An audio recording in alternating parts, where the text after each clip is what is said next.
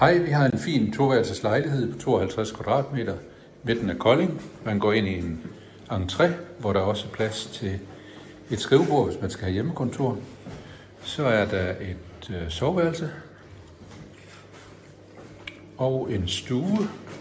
Alle gulvene er blevet afhøvlet og lakeret. Der er et badeværelse med brusenisje og et helt nyt køkken. HTH-elementer med opvaskemaskine, ny opvaskemaskine, ny vaskemaskine, tørretumbler og med stor kølefryseskab, der også er helt nyt, og et komfur og en emhætte. Derudover er der en stor, dejlig fælles have, hvor man kan sidde ude om sommeren og sidde og grille. Hvis du er interesseret i den her lejlighed, så ring til OT Bolig på 20 85 33 95 eller gå ind på vores hjemmeside otbolig.dk